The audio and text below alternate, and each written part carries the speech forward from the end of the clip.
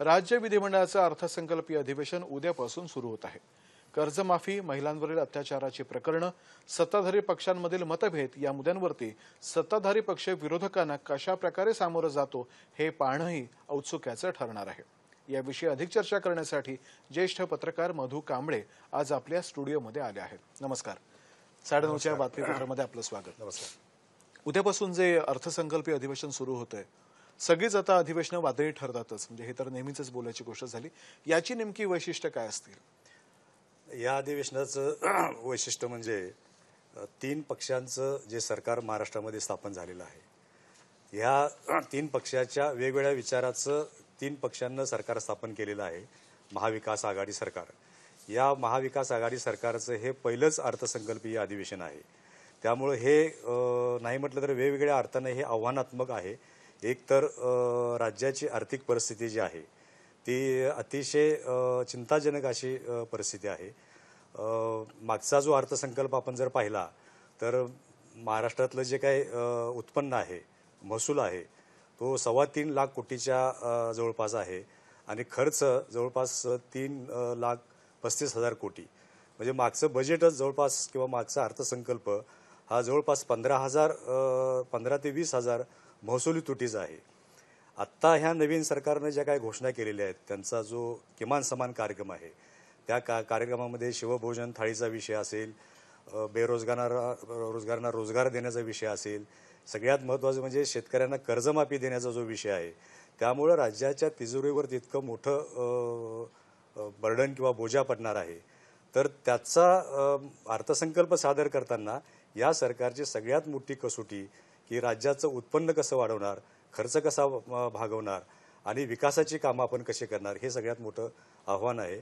दुसरं असं की ह्या अधिवेशनामध्ये यापूर्वी या सरकारचं एक अधिवेशन पहिलं झालेलं आहे.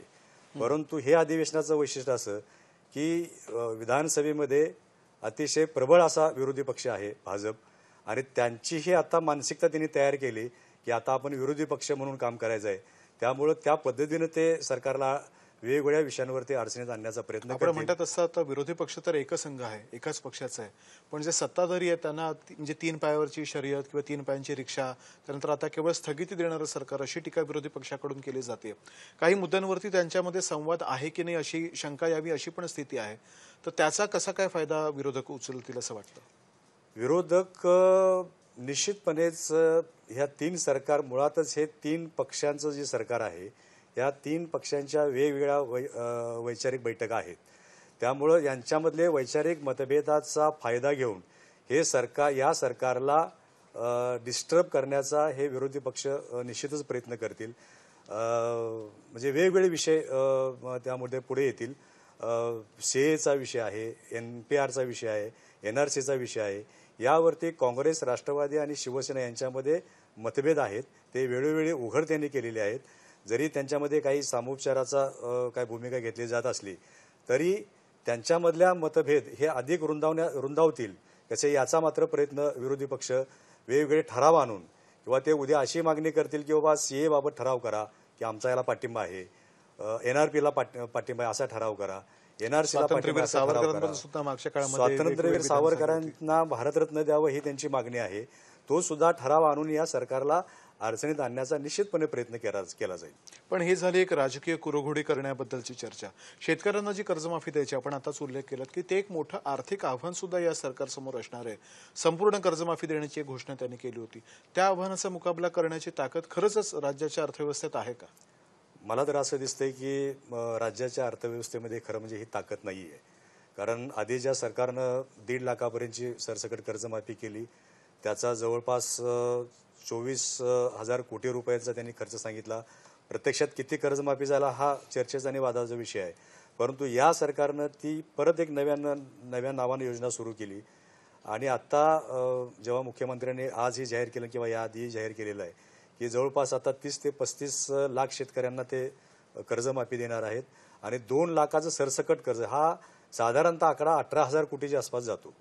आणि सरकारची आत्ताची परिस्थिती अशी आहे की मागच्या बजेटमध्ये किंवा मागच्या अर्थसंकल्पामध्ये जवळपास चार लाख सत्तर हजार कोटी रुपयांचं कर्ज आणि त्याच्यातला वेतन आणि प्रशासनाच्या खर्चावरचा जो काय आकडा आहे तो जवळपास एक लाख दहा कोटीच्या आसपास आहे. त्यामुळे तुमच्याकडे विकासाला किंवा याच्याकडे पैसाच राहणार नाहीये. अशी एक परिस्थिती खरं म्हणजे राज्याची परिस्थिती अतिशय आव्हानात्मक आहे आणि त्याचा हे तीन पक्षाचं सरकार कसं सामना करतं हे खरं म्हणजे अर्थसंकल्पात आता दिसेल. खरे महिलांवरील जे अत्याचार आहेत त्याच्यातही कुठेतरी वाढ होते असा एक आरोप केला जातोय. त्याच्यासाठी आंध्र प्रदेशच्या धर्तीवरती दिशाचा जो त्यांचा कायदा आहे तसा काही कायदा आणावा अशी पण मागणी होते आणि गृहमंत्र्यांनी सुद्धा ते मान्य केल्याचं दिसतंय. तर त्याबद्दलही काही चर्चा या अधिवेशनात होईल का? निश्चितपणे कारण महिलांवरच्या अत्याचाराचा विषय अतिशय महाराष्ट्राच्या दृष्टीने दृष्टीने चिंताजनक आणि गंभीर आहे. आणि तो विषय अर्थात त्याचं त्याच्यावरती राजकारण केलं जाईल. विरोधी पक्ष राजकारण करतील किंवा सत्ताधारी करतील. परंतु महिलांवरचा अत्याचार हिंगणाघाटची हिंगणघाटची घटना घडली आणखीन सिल्लोडची घटना घडली. त्यामुळे ज्या स्तरावरती हे सगळे अत्याचार चाललेले आहेत ते अतिशय चिंताजनक बाब आहे आणि ते रोखण्यासाठी वेगवेगळे कायदे करण्याचा सरकारचा प्रयत्न आहे आंध्राच्या धर्तीवर कायदा करण्याचा प्रयत्न आहे. त्याच्यावरती मोठ्या प्रमाणात चर्चा होईल पण तसा कायदा केला तर विरोधी पक्षही त्याला पाठिंबा देतील. कारण विरोधी पक्षही काय त्या विरोधात जाणार नाहीत असं माझं मत आहे. पण आताचं जे सत्तारूढ सरकार आहे एका अर्थाने ते मागच्या सरकारमध्ये सुद्धा सहभागी होतेच.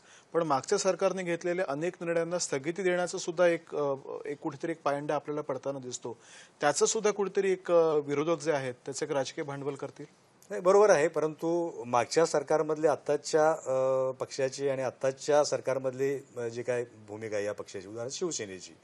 मागच्या पक्षातला शिवसेनेची भूमिका ही अतिशय दुय्यम स्थानावरची होती. परंतु आत्ताची जी भूमिका आहे ते पहिल्या स्थानावरची आहे. त्यामुळं मागच्या सरकारचे काही निर्णय उदाहरणार्थ मेट्रो कार शेडचा विषय असेल किंवा एक मोठा वादग्रस्त विषय जो ठरला होता की सिडकोची जमीन प्रकल्पग्रस्तांच्या माध्यमातून काही बिल्डरांच्या घशात घालण्याचा प्रयत्न झाला. तर हे विषय काँग्रेस राष्ट्रवादी त्यांच्या सहकारी पक्षांचे आहेत. त्यामुळे त्यांचाही प्रभाव किंवा त्यांचंही म्हणणं शिवसेनेला ऐकावं लागेल. आणि त्या दृष्टीने मला वाटतं की ते निर्णय आता होत आहेत. नाणारचा विषय मुख्यमंत्र्यांनी सांगितलं की तो विषय संपलेला आहे. आणखीन काही विषय मला वाटतं की ते जे जे आधीच्या सरकारने घेतलेले आहेत ते बदलण्याचा प्रयत्न होईल. खरं पण अर्थात राज्यामध्ये सरकार जरी कोणाचंही असलं तरी केंद्राकडून जो निधी मिळतो त्याच्यावरती सुद्धा राज्याचा विकास खूप मोठ्या प्रमाणामध्ये अवलंबून असतो. म्हणजे आता जीएसटीचे जे पैसे केंद्राकडून राज्याला मिळायला हवेत ते जर का त्वरेने आणि वेगाने मिळाले नाहीत तर काही अडचणी येतात. तर याच्यासाठी सुद्धा जे आता तीन आघाड्यांचं जे सरकार आहे त्यांना शेवटी केंद्रावरती अवलंबून राहावं लागणारच आहे नाही का?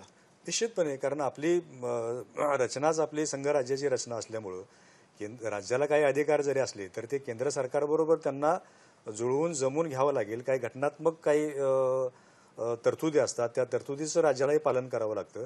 जीएसटीचा विषय आहे तो बरोबर आहे. कारण महाराष्ट्रातलं सर्वात जास्त उत्पन्न पूर्वी ज्याला आपण मूल्यावर्धित कर म्हणत होतो तोच आता जीएसटीमध्ये वेगवेगळ्या करांचं रूप म- रूपांतर झालेलं आहे. तर पूर्वी जो कर आपल्या डायरेक्ट आपल्याला थेट आपल्या तिजोरीत पडत होता आता तो केंद्राकडे जाऊन तो परत आपल्याला घ्यावा लागतो. वेळेवर त्याचा जर परतावा झाला नाही तर अनेक अडचणी आर्थिक अडचणी निर्माण होऊ शकतात योजना थांबवू थांबू शकतात. ही एक अडचण आहे. त्यामुळे त्याच्यातून एक मार्ग काढणं किंवा त्याबद्दलची आग्रही भूमिका राज्य सरकारनं घेणं हे आवश्यक आहे. खरं नागपूर अधिवेशनाचा कार्यकाळ हा कमी होता. या अधिवेशनाचा कार्यकाळ पुरेसा असावा अशी पण मागणी होते. आपण काय सांगाल?